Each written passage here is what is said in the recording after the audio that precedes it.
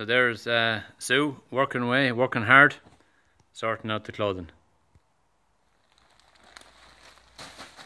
We're nearly at the finish here now of what we got at the moment. Uh, we just got some bags left here, a few more up the top there, and we'll have them sorted out. Myself and Sue would sort out 20 bags here in an hour some nights. Um, and just want to give you a brief uh, look at the way we're going to be organising ourselves going forward. We're going to be taking a short break. We're going to take less. I mean, if still people bring stuff to us in Carlow, that's fine. That's no problem. But we won't be collecting stuff around the country for for a little while until we restructure ourselves and get this to a fine tune. But as you can see here, we got some nice, uh, very nice uh, sports stuff.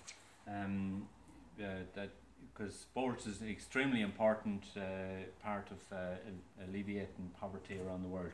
So that's going to our friends in the rugby club in Romania. Uh, here we got trousers, seven plus. It's always a huge problem trying to get clothing for 14, 15 year olds because uh, they wear out the clothing. Some of the clothing we may get wouldn't be a good enough quality and might be dirty or torn, and we don't want that. Uh, tops plus, um, trousers, uh, two to six years, tops, two to six years, uh, not to two year old uh, clothing, and then we pack it in these bigger boxes here. Uh, you can see children's tops. Um, we got some really nice adult clothing there. Some uh, people have donated as well. So it's going to be all put in these uh, big boxes and ready for shipping. Um, there's a pallet that we've already made, it's ready to go. Um, there would be approximately 3,500 uh, items of clothing in there, a little less because there's some uh, push chairs and prams on the top.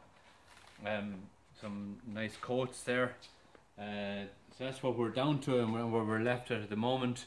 Um, we got uh, when we started off this uh, in 2014 we started off in our house. We only meant it to be very small.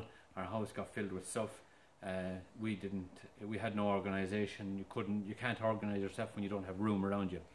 Then we moved to a shop and uh, kind of a place in in the town uh, thanks to Maura Finland from Carlow Property Management. She donated uh, let us use a place there for several months um, again we filled it to the ceiling no organization.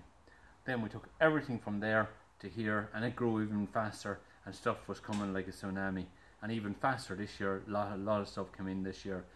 Um, we've collected and distributed, donated uh, three million items of clothing in two and a half uh, two and a half years. Um, so it's a huge amount being done, but we need to slow down a little bit. If people bring their stuff still to Carlow, that's okay. That's no problem with it at all but we won't be going around the country collecting. So keep uh, keep supporting us. Uh, we need to restructure and to plan ourselves better here, make them comparable so that all this stuff is um, separated, so that when we ship it, that it goes uh, on the other side. When they open the boxes or the bags, they they know what they have exactly, rather than a big bag of clothes or whatever.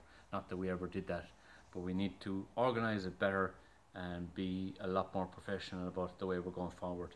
So thanks very much. Keep uh, keep supporting us.